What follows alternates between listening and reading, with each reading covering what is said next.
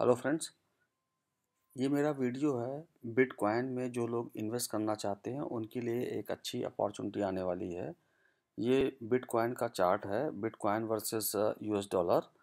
तो इसमें ये वीकली चार्ट है हमारा और इसमें हम ये देख रहे हैं कि अभी हमारा प्राइस करीबन फोर्टी एट थाउज़ेंड के करीब चल रहा, forty eight thousand two hundred twenty. तो इसमें हम देख रहे हैं कि ये हमारा बिटकॉइन तेज़ी से मूव किया था और यहाँ से ये हमारा करेक्शन स्टार्ट हुआ था। दोबारा जब ये बिटकॉइन उसी प्राइस से पहुँचा तो यहाँ से ये जिसको बोलते हैं डबल टैप डबल टैप में भी एक स्ट्रॉन्ग करेक्शन हो रहा है। तो मेरा ये मानना है इसमें कि आ, ये बिटकॉइन जो इसमें करेक्ट हो रहा है ये थोड़ा सा यहाँ पे जब ये हावर करेगा और यहाँ पे रुकेगा तो करीबन ये फोर्टी एट थाउज़ेंड से लेके फोर्टी टू थाउज़ेंड तक करीबन यहाँ पे अगर हॉल्ट कर गया तो we can buy bitcoin for investment purpose so it can reach up to more than eighty thousand ninety thousand dollar तो इसका मैं एनालिसिस करके इसमें आपको बताऊँगा कि कैसे, ये कैसे मतलब क्या चांसेस हैं, क्या प्रोबेबिलिटी है, ये डाउन ट्रेंड में कैसे जा सकता है। तो हम यहाँ शुरू करते हैं। देखिए, पहले मंथली चार्ट में हम चलते हैं। मंथली चार्ट में हम चलते हैं, यहाँ पे देखते हैं कि क्या हुआ था। मंथली चार्ट में हमें यहाँ पे एक कंजेशन दिख रहा है। ये कंजेशन दिख रहा है, जो एक रेंज है। यहाँ पे रेंज से ऊपर गया मार्केट नीचे आया, ऊपर गया, नीचे आया और ये यहाँ से ब्रेकआउट दिया। तो हम स्टडी करते हैं कि इस रेंज में क्या हुआ था। क्या ऐसा सेटअप बना था, क्या पैटर्न बना था, क्या पुल बैक्स हुए थे जिसकी बाद, जिसके बाद ये मार्केट यहाँ से लेके यहाँ तक काफ़ी I think nine thousand ten thousand से लेके sixty three thousand almost seven times हमारा मार्केट गया। तो ये मंथली चार्ट है हमारा। हम यहाँ पे देख सकते हैं मंथली चार्ट है और ये हमारा यहाँ से यहाँ से हमारा ब्रेकडाउन हुआ था इस पॉइंट से। ठीक है, ये हमारे बायर्स जिन्होंने इसको पुश किया था अप की डायरेक्शन में। हम इस चीज़ को स्टडी करते हैं वीकली चार्ट में कि वीकली चार्ट में हुआ क्या था यहाँ पे। तो ये हमारा वीकली चार्ट आ गया। ये हम देखते हैं इसमें क्या हुआ था। ये वीकली चार्ट में एक हमने एक सपोर्ट लाइन बनाई और ये हमारा मार्केट जब बिटकॉइन ऊपर गया, इसके बाद इस सपोर्ट लाइन को पियर्स किया। उसके बाद ये पुल बैक यहाँ पर स्टार्ट हुआ। This this is called first pull back जब भी मार्केट में दो पुल बैक होते हैं तो मार्केट बहुत तेज़ी से रैली करता है। अगर अप डायरेक्शन में है और नीचे की डायरेक्शन में जब दो पुल बैक बनते हैं तो नीचे की डायरेक्शन में बहुत तेज़ी से मार्केट गिरता है। तो ये हमारा फ़र्स्ट पुल बैक बन गया। फ़र्स्ट पुल बैक बनने के बाद यहाँ पे अभी भी, चूँकि मार्केट बहुत तेज़ी से गया था ऊपर तो जो हमें बायर्स थे, जिनको डिस्काउंटेड प्राइस चाहिए थी, उन्होंने लंबा टाइम लिया इसमें यहाँ पे अपनी पोजीशन को बनाने में। और ये मार्केट हमारा पुल बैक किया तो it was very definite that there will be second pull back so that all orders of buyers can be filled तो उसके बाद हमारा सेकंड पुल बैक जब हुआ यहाँ पे लोअर लो, आप देखिए पुल बैक में ये lower low lower high lower low lower high lower low lower high ये बनते गए। और जैसे ये हायर हाई बना और उसके बाद हायर लो बना यहाँ पे तो ये हमारा फ़र्स्ट पुल बैक हमारा कंप्लीट हो गया। अब दूसरा हमारा ये सेकंड पुल बैक स्टार्ट हुआ lower low lower high lower low no sorry low no lower high almost equal high और फिर ये कम्प्लीटली जब मार्केट गया तो ये कि यहाँ पे आ, हमें दिया एक प्रोब दिया और प्रोब देने के बाद यहाँ पे आके सेम इक्वल हाइट उसके बाद ये कंजेशन कंजेशन होने के बाद यहाँ पे हम मार्केट को बाई कर सकते थे। तो यहाँ पे हमारी एक श्योरिटी हो गई कि मार्केट यहाँ से ब्रेकआउट देगा और इसका स्टॉप लॉस हम यहाँ पे रख सकते थे। इस लो के नीचे या इस जो भी लो है इसके नीचे हम स्टॉप लॉस रख, सकते थे। तो बेसिकली क्या हुआ, यहाँ से मार्केट बहुत तेज़ी से रैली किया। इसको मैं एक बार फिर से बता देता हूँ कि हमारी एंट्री कहीं यहाँ पे बनती थी और with stop loss here some people will make this की जो है ये हमारा इस तरह से इंक्लाइंड हमारा सपोर्ट था, जो अगर पैटर्न के हिसाब से लोग देखते हैं तो ये हमारा पुल बैक थे। अब पुल बैक्स के बाद ये ये पहला pull back second pull back आके यहाँ पे पुल बैक तभी ख़त्म होता है जब वहाँ पे पुल बैक ख़त्म होने के बाद कंजेशन फॉर्म होता है। कुछ लोग इसको सेकंड दूसरे ढंग से करते हैं कि ये हमारा एक वेज पैटर्न बन गया, ये मार्केट ऊपर गया यहाँ से, ये फाइनली एक वेज पैटर्न बन गया, यहाँ पे ब्रेकआउट होके ये टेस्ट करने आया, यहाँ पे तो वो लेते हैं। यहाँ पे तो ये जब टेस्ट करने आता है तो लोग यहाँ पे ट्रेड डालते हैं। लेकिन आ, मेरा मेरा आ, मानना है कि मतलब मार्केट जब कंजेशन में हो मार्केट जब पुल बैक कर रहा हो तो हम पहले ही उसको ट्रेड कर लें। हमें पता चल जाए कि ब्रेकआउट होने की पॉसिबिलिटी कहाँ है।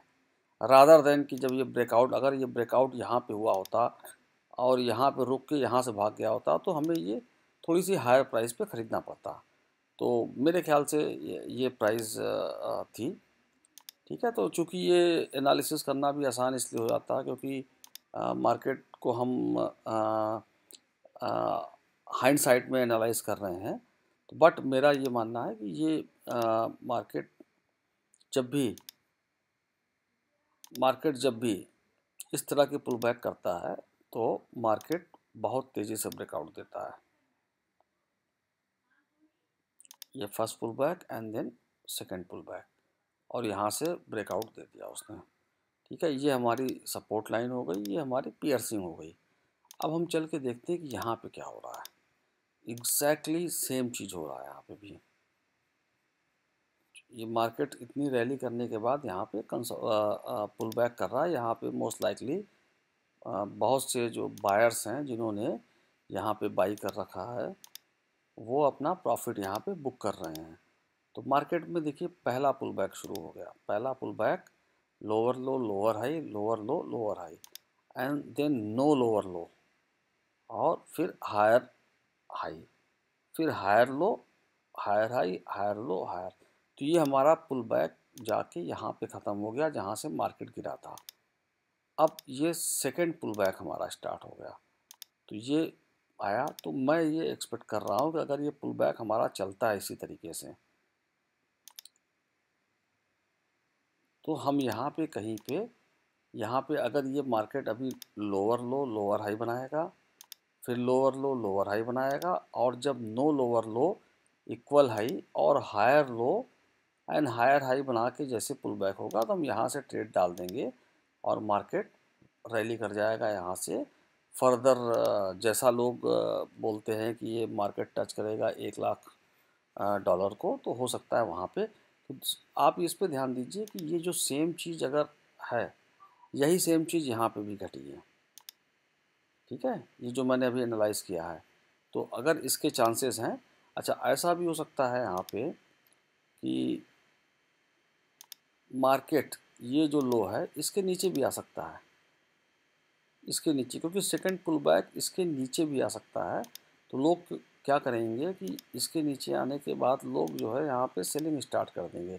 बट हमेशा याद रखिए कि second pull back can be lower than the low of first pull back तो ऐसा हो सकता है कि यहाँ पे मार्केट आने के बाद हायर हाई बना के और यहाँ स्टे कर जाए।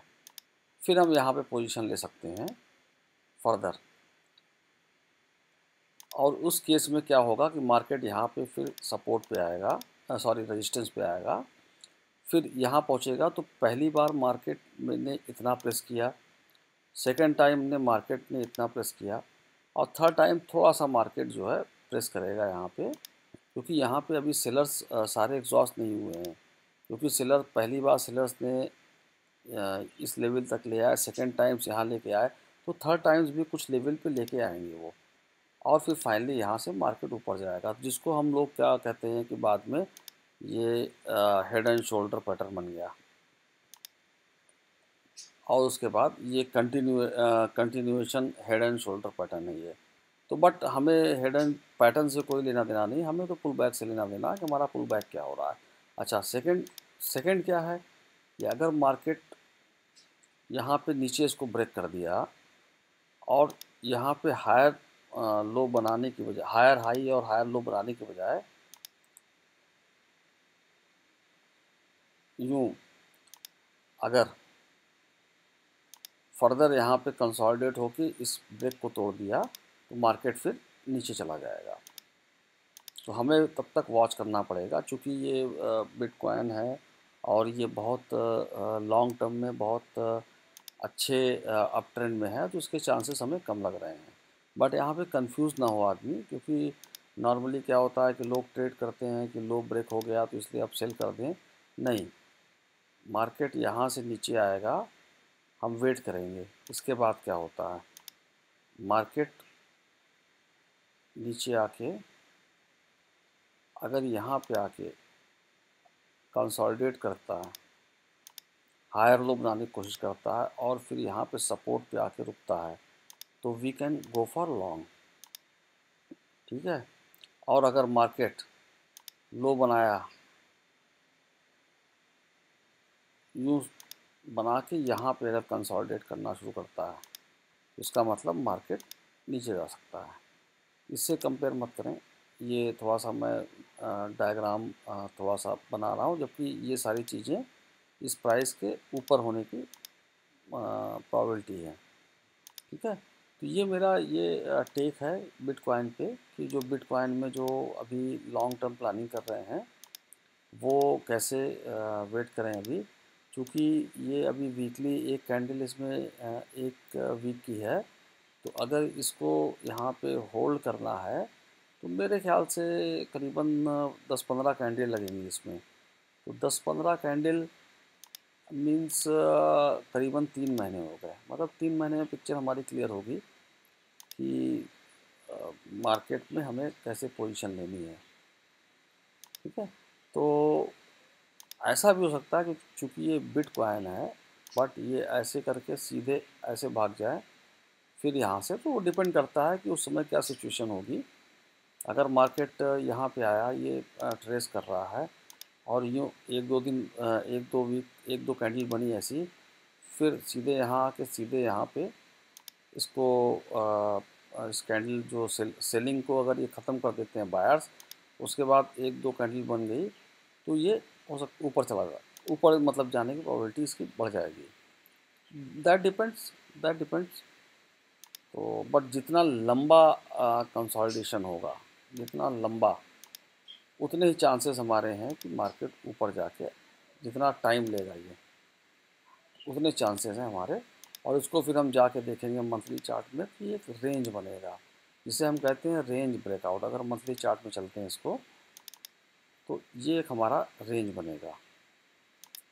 एक पॉइंट दो पॉइंट तीन पॉइंट चार पॉइंट जिसे हम कहते हैं कि रेंज ब्रेकआउट हो गया। जितना लंबा रेंज होगा, उतना अच्छा ब्रेकआउट होगा।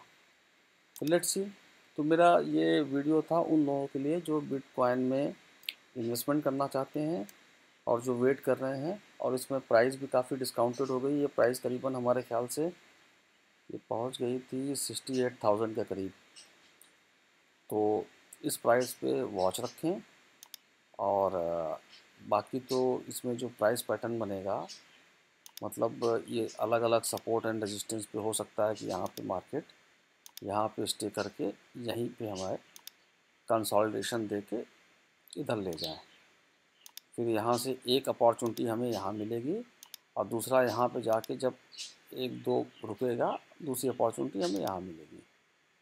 तो हम इस पर ट्राई करेंगे, ठीक है? और यही सेम चीज़ यहाँ पे हुई है जिसको मैंने डिस्क्राइब किया है। सेम चीज़, बट थोड़ा सा इंक्लाइंड सब रेजिस्टेंस लाइन पे तो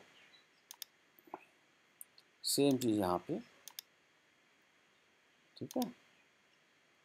ये पहला पुल बैक था। सेकेंड पुल बैक जो गया है this is happening just near to this और ये यहाँ कंजेशन आया था। तो हम यहाँ पे इस तरह का सेटअप ढूंढेंगे। ठीक है दोस्तों? तो ये रहा हमारा बिटकॉइन का। और आ, मैं भी वेट कर रहा हूँ कि इस तरह का सेटअप बन जाए। बट चूँकि इसमें अभी दो तीन महीने लगेंगे। तो बेसिकली इन्वेस्टमेंट के लिए ट्रेडिंग के लिए नहीं ट्रेडिंग के लिए तो हम डिफरेंट टाइम फ्रेम में जाके करते हैं। एक बार इसमें देख लेते हैं डेली में क्या है? अच्छा डेली में तो अभी चल रहा है। अभी तो मार्केट में नीचे आ रहा है। तो हम बेसिकली लॉन्ग टर्म प्लानिंग कर रहे हैं। तो हम वीकली में ही देखना प्रेफर करेंगे। ठीक है दोस्तों थैंक यू अगर वीडियो पसंद आया होगा तो लाइक करिएगा ताकि मैं इसके आगे की भी एक महीने बाद या जब भी मौका मिलेगा तो मैं एक अगला वीडियो बनाऊँगा कि इसमें बिटकॉइन कैसा कर रहा है और क्या प्रोबेबिलिटी बढ़ रही क्या मार्केट में प्राइस एक्शन चेंज हुआ है। अगर चेंज हो गया है चूँकि ये मेरा प्रोडिक्शन आज से है ती, अगले तीन महीने में क्या होने पे क्या करना है। लेकिन कल को बिटकॉइन में चूँकि इतनी हाई वॉलेटिलिटी होती है कभी भी कुछ भी मार्केट में चेंज हो जाता है तो हो सकता है कि एक या दो वीक के बाद जो है इसमें सेटअप चेंज हो जाए पैटर्न चेंज हो जाए मार्केट कुछ और इंडिकेशन दे तो उस हिसाब से मैं एनालाइज करूँगा। बट इट इज़ चूँकि ये लॉन्ग टर्म अप ट्रेंड में है और बहुत ही अच्छा इसमें पुल बैक हो रहा है, दूसरा पुल बैक हो रहा है, जो कि second pull back is more crucial than the first pull back because जिन्होंने यहाँ पे बाई किया होगा, अब ये प्राइस ऊपर तो गई और उन्होंने अगर प्रॉफिट नहीं बुक किया होगा तो ये प्राइस वापस यहाँ पे पहुँच गई है। तो उनके लिए कोई बेनिफिट नहीं हुआ। तो बेसिकली जो सेकेंड पुल बैक है that is more important because that creates a panic in to the uh, of traders तो let's see. So thank you guys. All the best.